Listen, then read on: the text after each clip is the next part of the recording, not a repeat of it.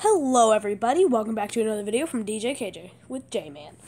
So today, since this is, this uh, game right here, Survival Craft 2, has been the biggest hit on my channel ever. And I figured I'd do this video and a small little mini-series, the Survival Craft series. And the Survival Craft Creative series is coming up soon. I'm still working on some editing. So this is the first one. So I'm going to show you how I will start a world. So you don't ever want, um, you never want challenging. You'll, uh, this is super hard. That is kind of like, it's kind of like the Minecraft mode, like hardcore. So if you die, you never respawn.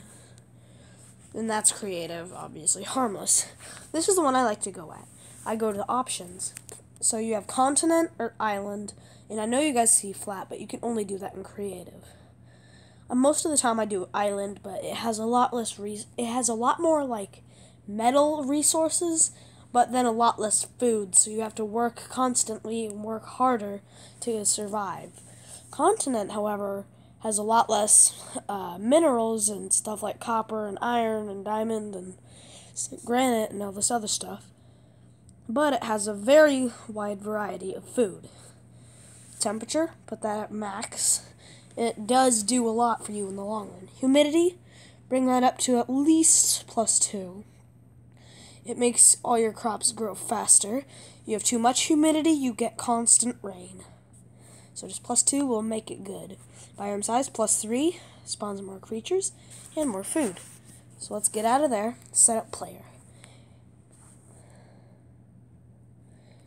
You don't want, you do not want Zachary, uh, Jeffrey, Geoffrey, whatever you want to call him, or Basil. You want Walter. He comes with the most clothing and the heavy hitting clothing. If you're a female player and you want to choose a female player, I would go with Mabel. She has the most of clothing. But as for me, I am a man, so, or a male, so. We're going with Walter. Play. Alright, people.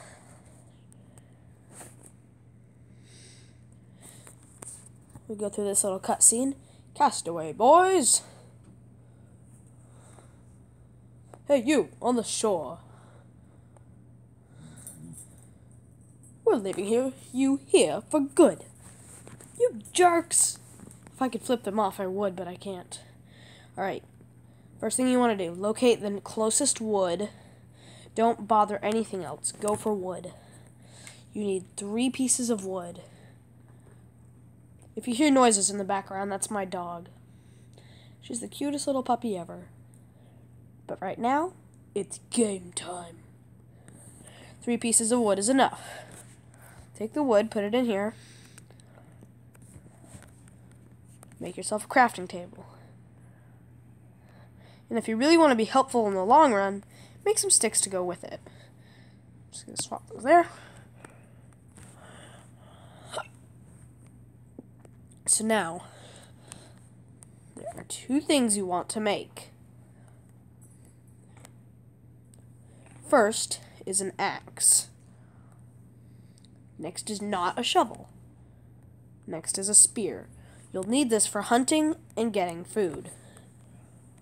Now, we're going to attack this wild boar over here, who's going to fight back. But do remember, these boars do the least damage of anything on this. So if one starts chasing you, don't worry. They only do half a heart, and ooh, this one was a lucky one. He gave me two pieces of food. Now let's go over here. Let's try to get this bird before he flies off. Score! And do collect the little yellow orbs. You, you guys should know that they're experience. Alright, now that we got this, let's put our meat up here. Hop up here. Oh boy. We got bulls up there. You know, that means there's cows nearby. Yep. We're never going to survive an encounter with these boars right now. Or, what? With these bulls right now, so we need to get out of here. Use this axe to start start using the axe. Get some wood. So anyways, how you guys doing? Merry Christmas, Happy Hanukkah. I don't know what religion you guys are. Um, I don't know if there's like a. Oh yeah, and all you guys that just believe stuff happens. Happy solstice. For me, I celebrate Christmas, so Merry Christmas if you celebrate Christmas. Happy Hanukkah if you celebrate Hanukkah. As previously stated, I don't know. So right now we have some serious business to attend to. We need uh, 21 pieces of wood. 21? 21. Oh. Well, first, let's grab some pumpkins. These are a good food source, because they're found everywhere. And that proves my point. Less than 20 feet away, there lies another patch. Let's bounce up here. And let's get these ones too.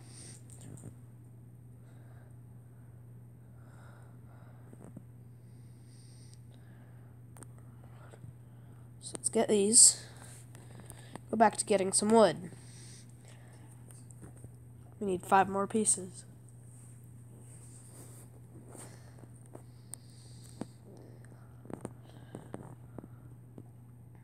Almost good. And good. And the rain is starting. That's good. So we're going to need to turn every little bit of this into wood. Ration our supplies, put everything we have in here, except for the pumpkins. You just want to save two pumpkins. Because they only grow in groups of five. So you want to have. It'll give you six seeds. Don't worry, I know that's one more than you need. There's no way to make it a smaller point. Now we just gotta find a good place to put our house. I would say actually right here is good a place is not. Hey, watch this. It's one of these traps.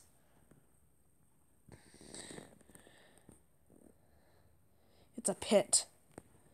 Just watch. This will break. And it's a good thing I spotted that. Because a lot of these traps have spikes at the bottom. You don't want to be trapped in one of those. That'll kill you fast. So that's not a good place. The game likes to do that to you. And on just about every optimal place there's a trap. So I suppose this, as though it is not an optimal place, it's a place good enough. Get these. And this also proves my point that they grow everywhere. Now let's begin construction. Four, five, six. One, two, three, four, five, six. One, two, three, four, five, six. Now, if you just saw that, the screen started to get a little dark. That's because nighttime is nearly upon us, if I am correct. Yes, I have very little time, which is why we must get the shelter up immediately. With what I've got planned in normal shelter, you need to make this three high. And yes, I'm going to cut out a space so that I can have some doors.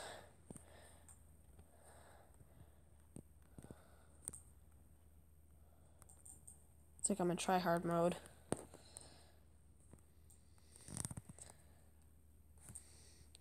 So we're two high. We need to be three high. This gives you a good 4 by 4 of, I know, 6 by 6 should give you a uh, 36 living space. Well, this doesn't. It gives you a 4 by 4 living space. I know. The physics of this game will never be understood by kids anywhere. So, let's say our door is going to be over here.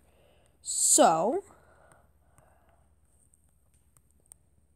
I know I specifically said that it's not going to be that high. Let's go drink. Let's start breaking these.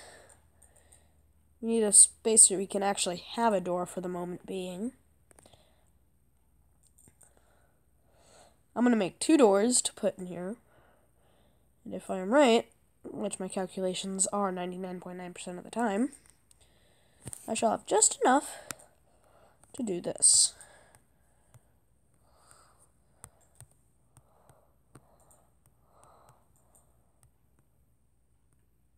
And a very well made shelter is almost completed. We have one less task left to do.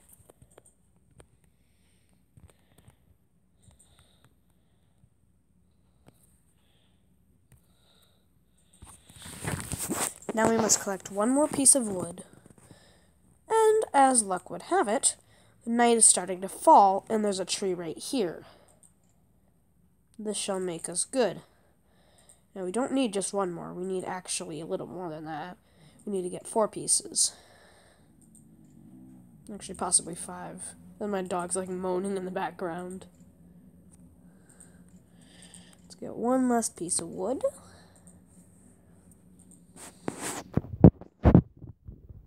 There we go. Rush our butts back to the shelter. Turn that into wood.